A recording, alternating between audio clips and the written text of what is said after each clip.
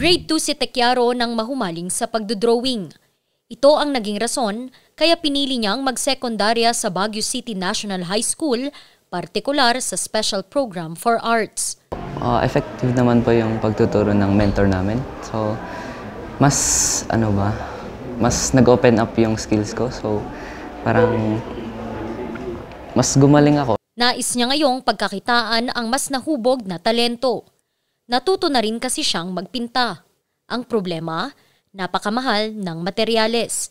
Kaya naman, malaking tulong para sa kanya ang bagong bubuksang art gallery sa kanila mismong paaralan. Yung mga special program for the arts here at CTI will be able to showcase their uh, masterpieces here at the uh, first Baguio City National High School creative space or art gallery.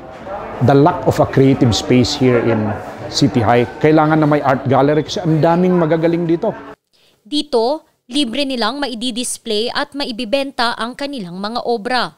Libre rin ang mga materyales na gagamitin sa paggawa ng mga ito. Nung sinabi nila, nung naganahan ako na kasi pwede, pwede maibenta yung dito. Pero siguro kan, mga mapababang price lang siguro. Yung pag-put up natin ng gallery room is eh, uh, very, very important.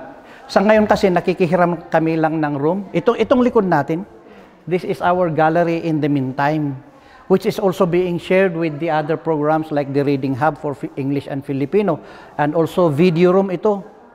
Kaya sabi ko, we cannot really concentrate on putting all the outputs of the kids there. Uh, we have to have one room for us really so that yung mga enthusiasts ng art even in the regular programs it's open to them ah, all the students of City High na naiinggan yung makilahok sa arts Pag-uusapan pa ang magiging hatian sa kita para sa maintenance ng nasabing art bank.